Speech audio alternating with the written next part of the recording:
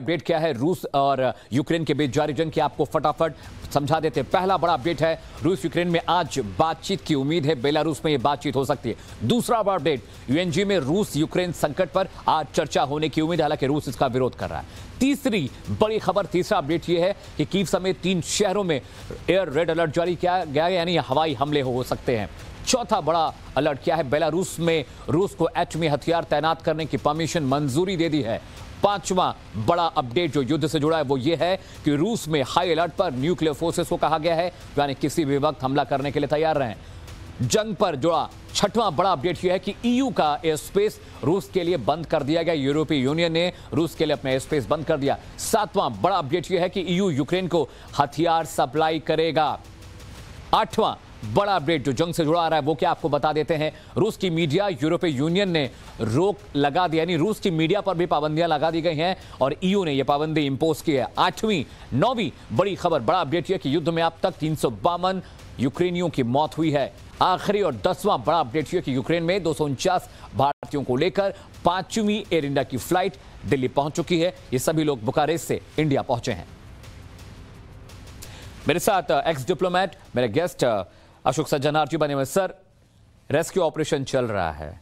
लेकिन यूएनजी की बात करें तो यूनाइटेड नेशन जनरल असेंबली में जिस तरह के दबाव बनाने की कोशिश रूस पर हो रही है, क्या ये काम करेगी? क्योंकि नेटो से तो रूस डरता नहीं, अमेरिका से डरता नहीं यूरोपीय यूनियन की वो कदर नहीं करता। जी, आप बिल्कुल ठीक कह रहे हैं। देखिए, ये दबाव बनाने का एक तरीका है जो कि और भी जैसे इंटरनेशनल फोरा है, जैसे यूएन सिक्योरिटी काउंसिल में भी, केवल पंद्रह में से केवल रूस ही एक ऐसा देश था जिसने अपना वीटो इस्तेमाल किया और उस जो वो रेजोल्यूशन था उसके विरुद्ध उसने वोट किया। जी। तीन जो देश थे जैसे आपने अभी बताया है चीन भारत चीन और यूएई इन्होंने एब्सटेन किया। इन्होंने कोई तरफ़ नहीं ली कोई साइड नहीं ली।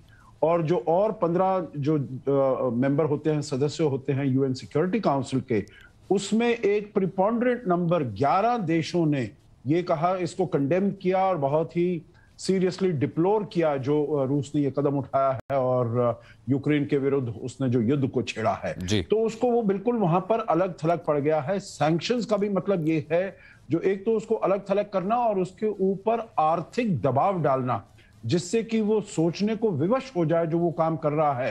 हम्म। वो ठीक है उसको उसको चेंज करना चाहिए बदलाव करना चाहिए और यहाँ पर भी क्योंकि वहाँ पर यूएन सिक्योरिटी काउंसिल में तो उसने अपना वीटो इस्तेमाल कर लिया रूस ने हम्म। परंतु यूएन जनरल असेंबली में कोई वीटो नहीं होता है हम्म। तो इसीलिए वहाँ पर अगर एक बहुत ज़्यादा तादाद में बहुत ज़्यादा नंबर्स अगर रूस के विरुद्ध वोट करते हैं तो हम्म। उसका मतलब है पूरी दुनिया रूस के विरुद्ध खड़ी है तो हालाँकि कुछ हैं आठ दस देश जैसे हमने देखा था वेनेजुएला है क्यूबा है कुछ और देश हैं जो कि रूस के साथ वोट करेंगे।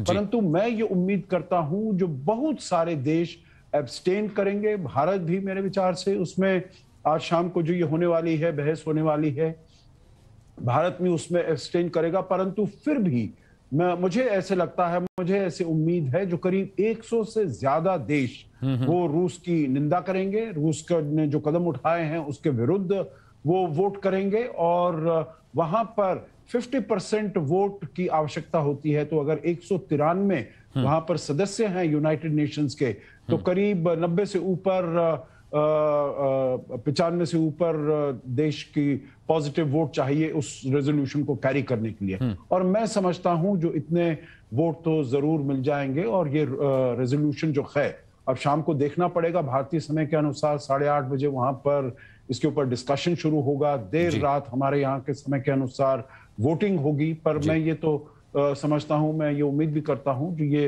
रूस के विरुद्ध जो वोटिंग है जो रेजोल्यूशन है उसको पारित कर दिया जाए सर मेरा सवाल भी आपसे यही था कि जनरल असेंबली की बात कर लें, सिक्योरिटी काउंसिल की बात कर लें, और भी तमाम जो संगठन हैं जो दुनिया भर के मुल्क जिसकी बात सुनते हैं, समझते हैं। लेकिन जिस तरह से रूस बेकदरी करता दिखाई दे रहा है, मैं आपसे एक सामान्य भाषा में समझना चाहता हूँ, एक भारतीय, अगर, एक भारतीय नागरिक क्या समझे कि जनरल असेंबली के दबाव को, सिक्योरिटी काउंसिल के दबाव को अगर रशिया नहीं मानता है तो उसके बाद क्या? मैं इसके बाद का स्टेप जानना चाह रहा हूँ, क्योंकि अभी तक जिस तरह का दबाव सर रूस पर बना है, उसका फ़र्क रूस पर दिखाई नहीं दिया मुझे। आप बिल्कुल ठीक कह रहे हैं। देखिए जो अंतर्राष्ट्रीय कानून है अंतर्राष्ट्रीय लॉ उसमें उनके पास ये तो है नहीं फौजें तो है नहीं यूनाइटेड नेशंस के पास ऐसी फौज तो है नहीं जो भैया कि रेजोल्यूशन पारित हो गया। हाँ। तो आप फौज भेज दीजिएगा और रूस का विरुद्ध करिए और सामना करिए। हाँ तो वो तो वो कर नहीं सकता। तो ये तो मॉरल प्रेशर उसके ऊपर अप्लाई किया जा सकता है। जो यूएन चार्टर के जो प्रोविजंस हैं जो आप किसी भी देश की संप्रभुता को आप अ, अ, वो नहीं करेंगे आप तोड़ेंगे नहीं। जिसे जिसे कहा जाता है टेरिटोरियल इंटेग्रिटी और सॉवरेंटी दूसरे देश की उसको आप तोड़ेंगे नहीं, ये सभी ने एक्सेप्ट किया है। परंतु अगर कोई देश है जो अपने को बहुत ताकतवर समझता है, जैसे रूस है तो यूनाइटेड नेशंस में यही विकल्प है, और विकल्प नहीं है। जो और विकल्प हैं, वो और देशों के पास है, और उन देशों ने अपने सैंक्शन लगाए हैं। और मेरे विचार से अब जो है, और जैसे आप बताते, बता रहे हैं, बहुत अच्छी तरीके से बता रहे थे आप, जो अब देखिए एयर स्पेस उसके ऊपर जो है यूरोप के ऊपर है वो एकदम यूरोप रूस के विमानों के लिए वो बंद कर दी गई है। आर्थिक तरीके से जैसे अब उसको स्विफ्ट से निकाल दिया गया है। और राष्ट्रपति पुतिन को इंडिविजुअली पर्सनली और सरगेई लावरो जो वहाँ के विदेश मंत्री हैं उनके पर्सनली उनके ऊपर सैंक्शंस लगाए गए हैं जो मतलब उनके जो भी अगर कोई इन्वेस्टमेंट्स हैं एसेट्स हैं वेस्ट में उनको फ्रीज कर दिया जाएगा उनको वो इस्तेमाल नहीं कर पाएँगे।